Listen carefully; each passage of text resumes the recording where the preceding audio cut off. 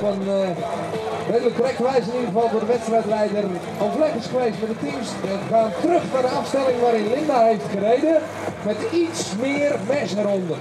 Om ze te proberen aan het eind verder te remmen, maar in ieder geval wel een.